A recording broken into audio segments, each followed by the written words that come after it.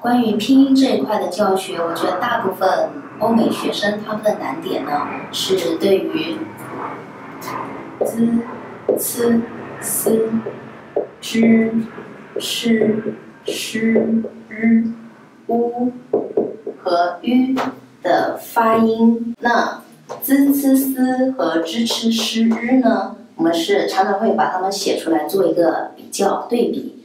嗯。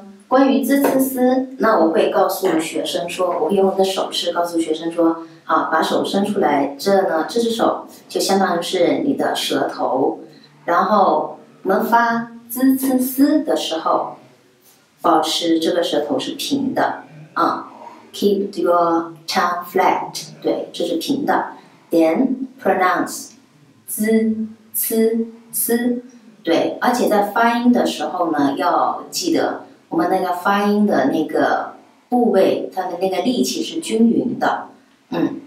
那关于 zh、ch、sh、r 呢？舌头是卷起来的，对，roll up your tongue，卷起来的。然后用舌根部位发音，like use use the strength of the root of your tongue，then pronounce zh、ch、sh、r。对，然后呢，会让学生跟着我一起来练习。呃，如果他们就是看懂了这个，如果抓把握住了舌位的那个位置，舌头的位置，那么就很容易可以把这几个音发准、发准确。那还有乌和 u 呢乌和 u 呢是嘴型的问题。那乌嘴型一定是圆的乌，乌对，然后示范给学生看，让他们。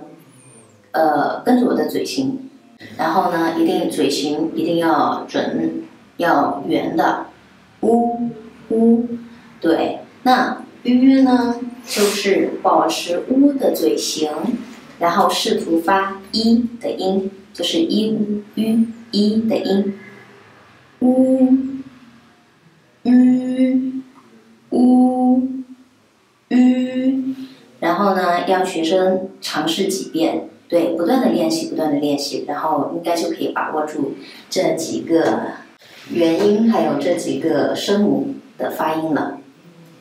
那关于汉字这一块呢，呃，我一开始呢会先跟学生介绍一下，呃，就是汉字大概的起源。那比如说像英语，它是记录发音的。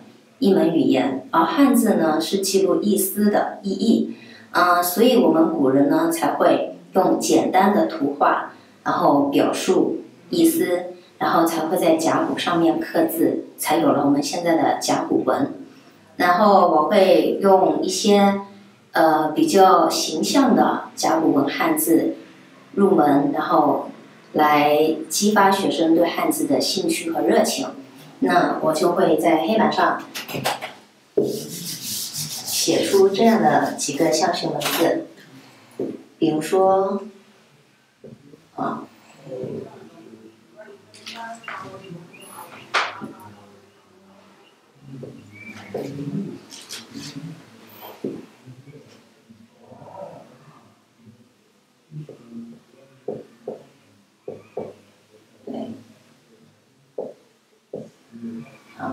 那像这个呢，大家可能会猜得出，哦，这是那个日头。嗯，这个呢形状跟山非常的相似。这个嘴这个形状应该是口。这个呢就是木头，跟我们现在的汉字也非常的接近。还有呢，这个呢是水。啊，对，那引发学生对汉字的学习热情以后呢，就会逐步给学生们介绍呃汉字的笔顺和部首。呃，那我觉得最难的是呢，其实是学生学了一定的汉字之后，他发现记住它非常的难。呃，意思可能容易记住，但是写这一块就比较难记。那我的方法呢，就是。教会学生们用编故事的方式，然后去记住一一些汉字，嗯，比如说这个汉字，那左边我们是个人，右边是一棵树。想象一下，一个人躺在树下，他在做什么？那就是休息 （rest）。关于语法教学，呃，我自己总结的一个观点就是，嗯，中文的思维和英语的思维是非常的不一样。所以一开始我就会告诉学生说，嗯，你要学中文的时候，一定不要把英语的思维带进来，这样子的话会阻碍你学习中文。因为中文呢是一门含蓄的语言，所以我们很喜欢就把重要的信息放在最后说，所以我们才会有这样的句式：主语加时间，然后加地点，再加谓语和宾语。对我们时间地点常常是放在谓语的前面，那英语呢可能不一样，英语常常是主语、谓语。然后宾语或者在后面再加时间加地点都可以。那中文这一点就非常的不一样。呃，下面我介绍一下一个初级语法，一个语法点的教学方式。嗯，比如说这个式子，式子的用法。嗯，说的是我们在英文里面的翻译是 am is are。然后学生们常常会，比如说我给一个句子给大家说。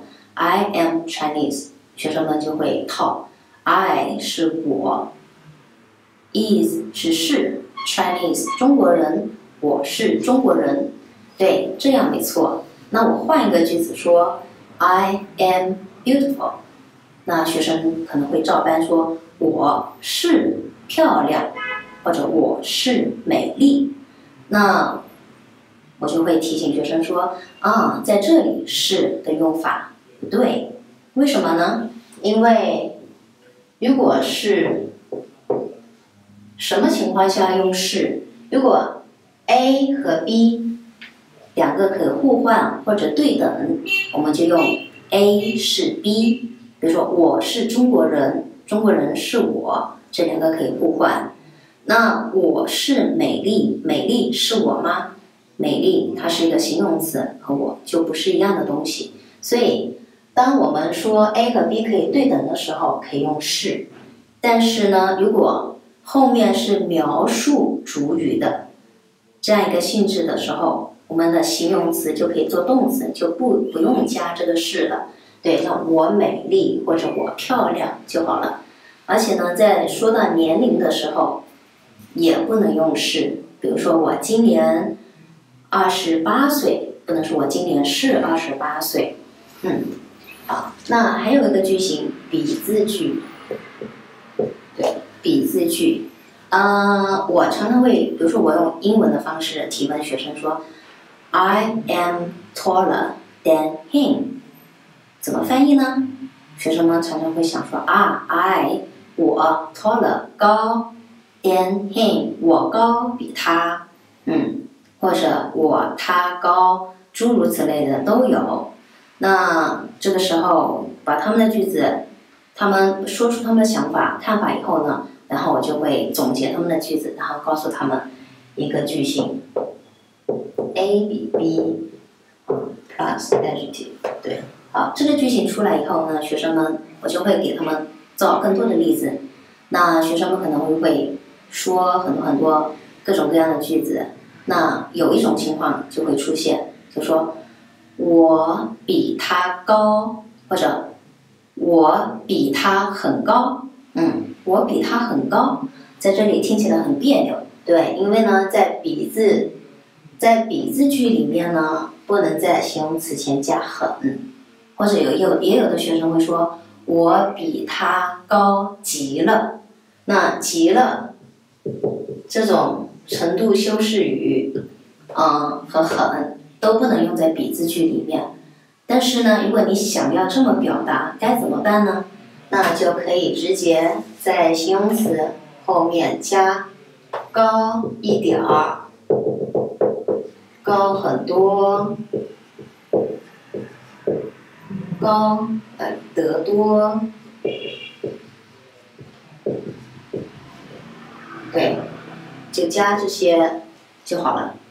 好。那因为时间有限啊，希望呢以后有机会可以去到那边和你们再讨论讨教更多的教学方面的这一块的想法和方法。谢谢你们。